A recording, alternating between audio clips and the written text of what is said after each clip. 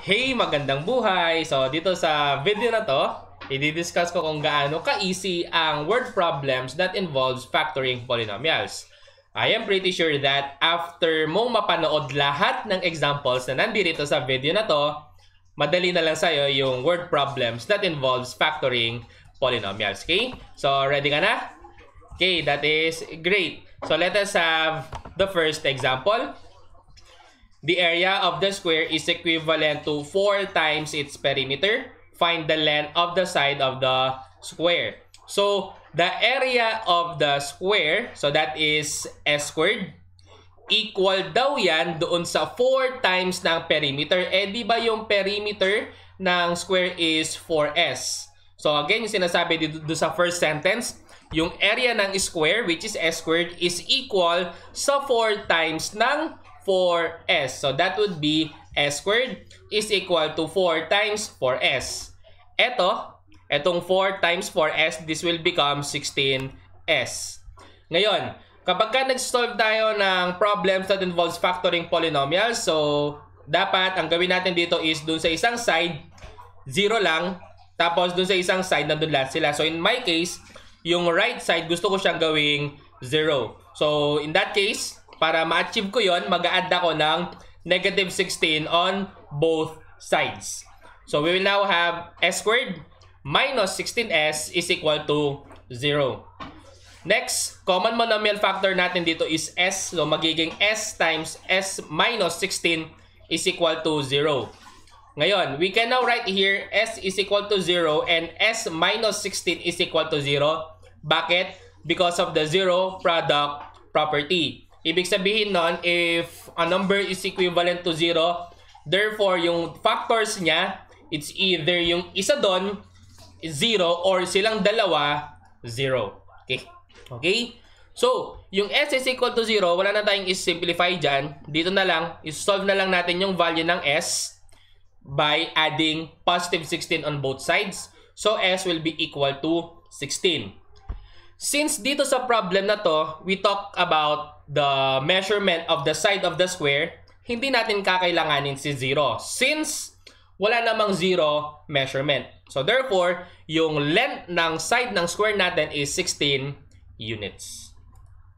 Next example, if twice the square of a number, twice the square of a number is the same as 20 times that number, what is the number? if twice the square of a number. So, since hindi natin alam yung number, uh, denote natin as x. Twice the square.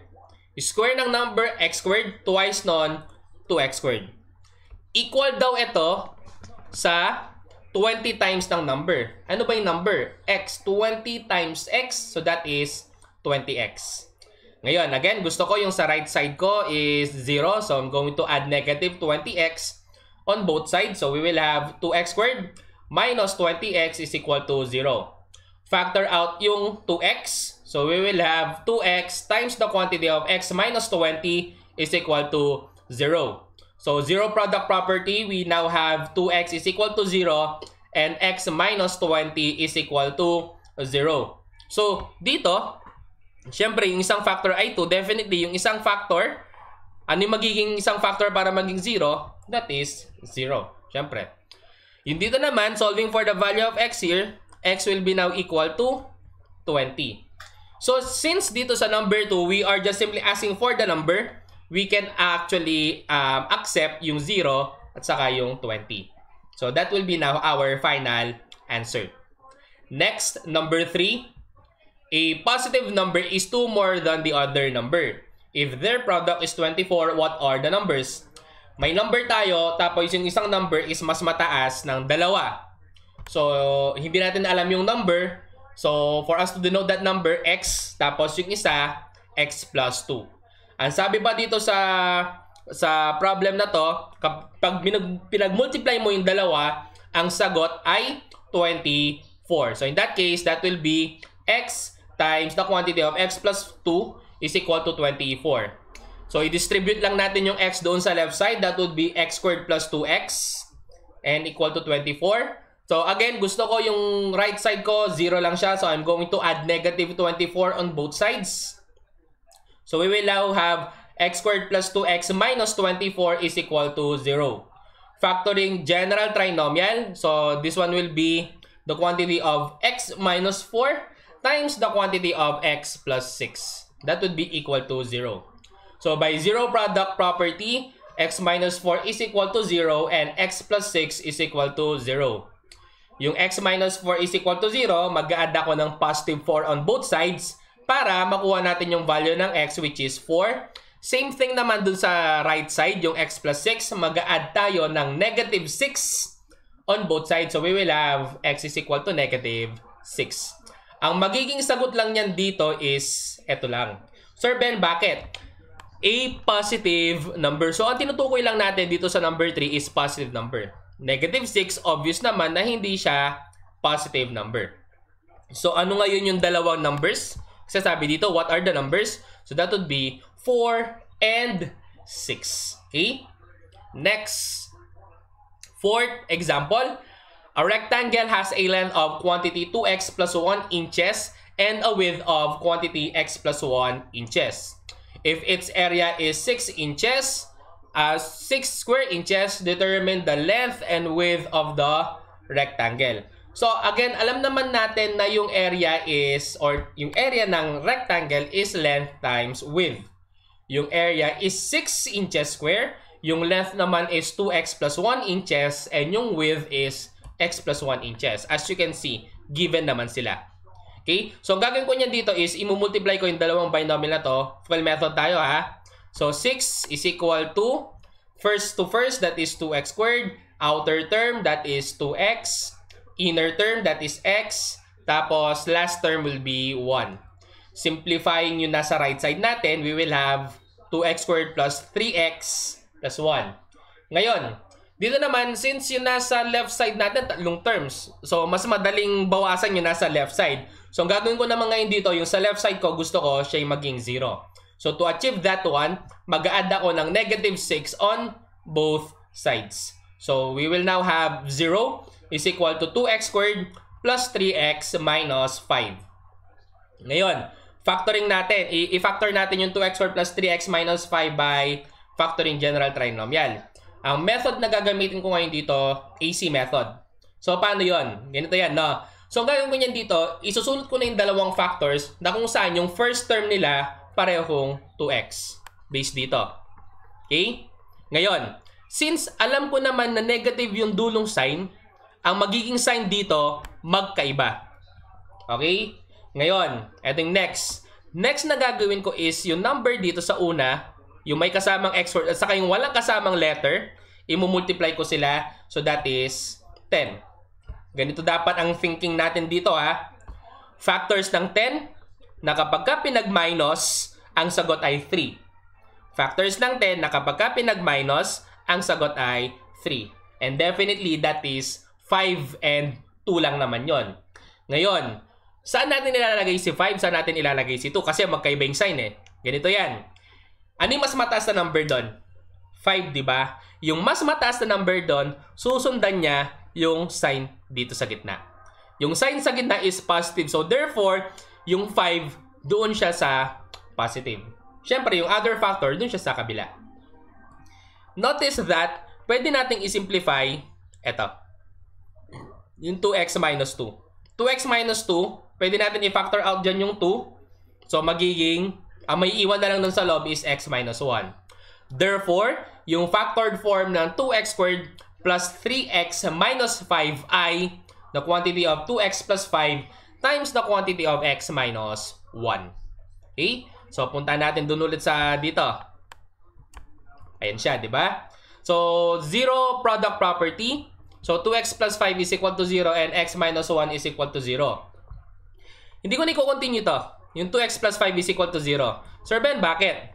Kapag kas, um, sinolve natin yung value ng x dyan, so add negative 5, tapos divide both sides by 2, ang makukuha natin is negative 5 halves or negative 2.5.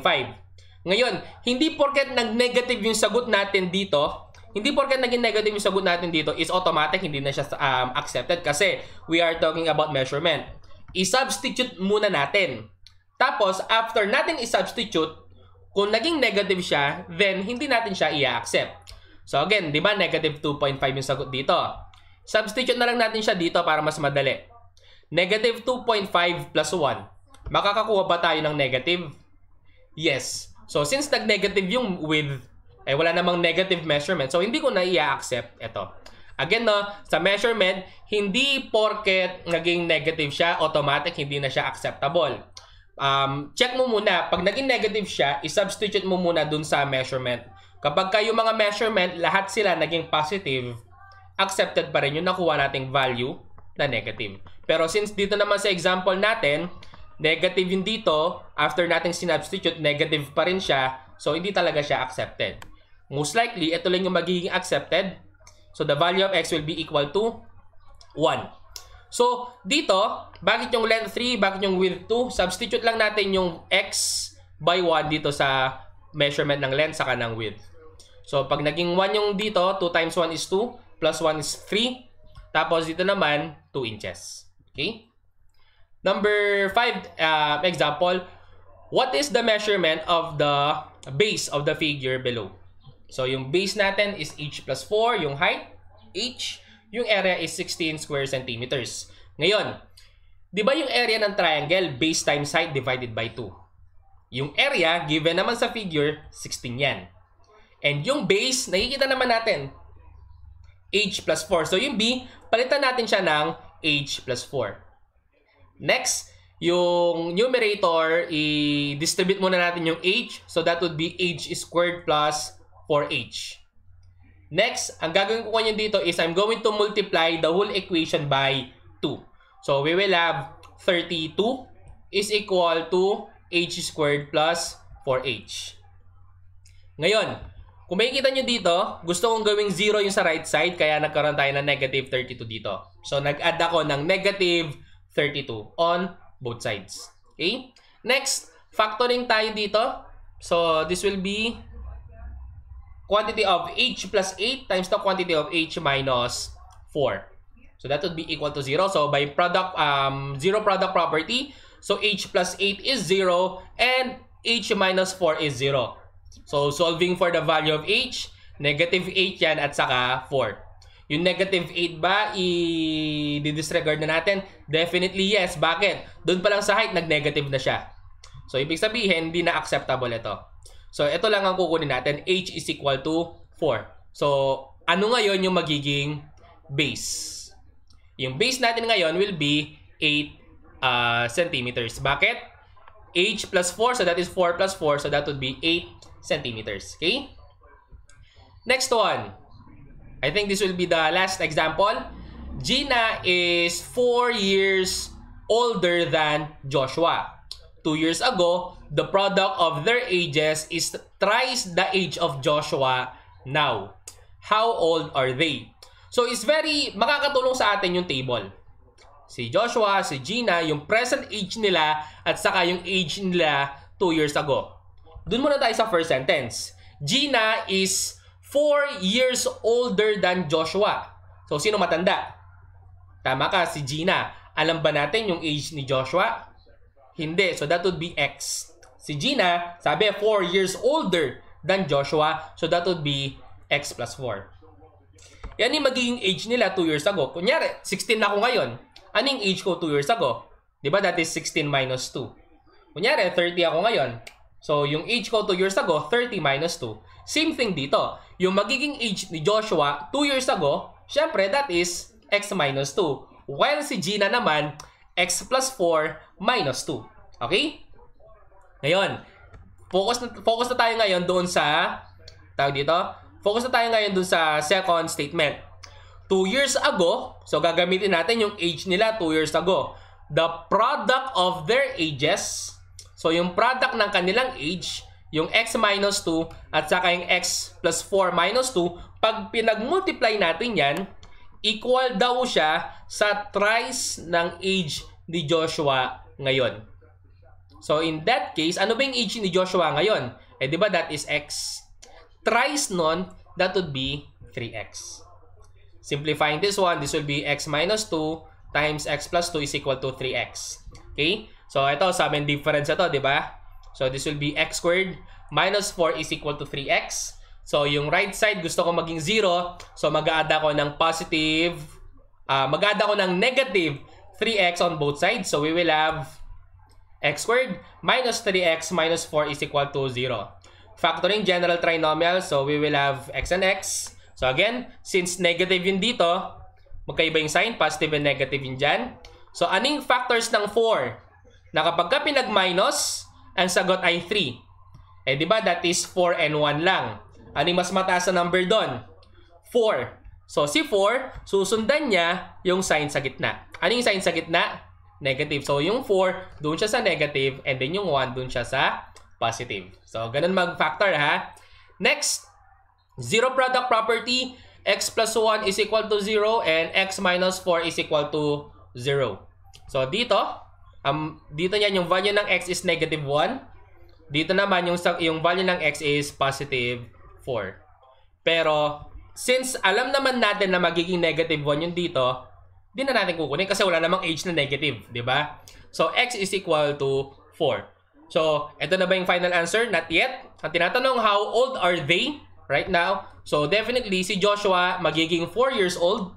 Si Gina naman magiging 8 years old. Okay?